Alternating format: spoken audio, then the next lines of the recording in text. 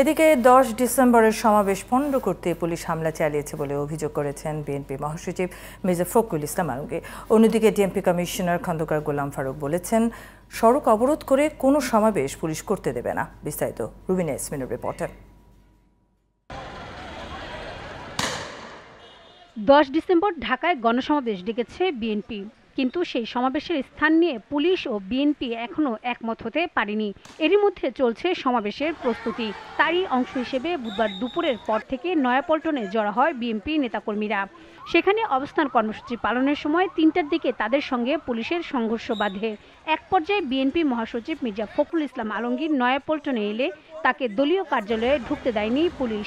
তার অভিযোগ, গণসমাবেশ পণ্ড করতে কোনো কারণ ছাড়াই পুলিশ হামলা চালিয়েছে।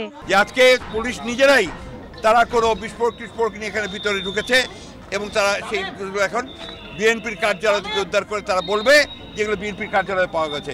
যেটা সম্পূর্ণ অ্যান্ড লাই এখানে সম্পূর্ণ শান্তিপূর্ণ পরিবেশে সবাই সমাবেশের জন্য অপেক্ষা করছিল যে পুলিশের একটা উত্তর তারা পাবে সেইটা অপেক্ষা করছিল। তা না করে যেভাবে উল্টোভাবে এই গণতন্ত্রকে ধ্বংস করার জন্য যেভাবে আজকে এখানে পুলিশ বাড়ির সদস্যরা ভিতরে ঢুকেছে তা এর নিন্দা ভাষানোর জানা আমার না, আমার ভাষা আমার জানা নেই। এইভাবেই তারা চোদ্দ পনেরো বছর ধরে এই নির্যাতন করে, নিপীড়ন করে, এইভাবে হত্যা করে নির্যাতন করে আপনার এখানে গণতন্ত্রকে বিরোধী দলকে তারা ধ্বংস করে দিচ্ছে বন্ধ এদিকে ঘটনাস্থলে থাকা পুলিশ কর্মকর্তা বলেন বিএনপি বেআইনিভাবে সড়ক অবরোধ করে প্রায় সময় সভা সমাবেশ করে আসছিল। পুলিশ সেখানে গেলে তাদের আক্রমণ করে বিএনপি নেতাকর্মীরা। আজকে আমরা দেখেছি যে বিএনপি পার্টি অফিসের সামনে রাস্তাটি বন্ধ হয়ে গিয়েছে। আমরা তাদের বারবার অনুরোধ করেছি রাস্তাটি ছেড়ে দে।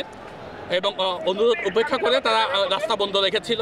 পরবর্তীতে আমরা যখন রাস্তা ছাড়ার জন্য অনুরোধ করি, তখন অতর্কিতে তাদের তরফ থেকে আমাদের উপর ব্যাপক ইট পাটকেল নিক্ষেপ করেছে, যেটা আপনারা দেখেছেন।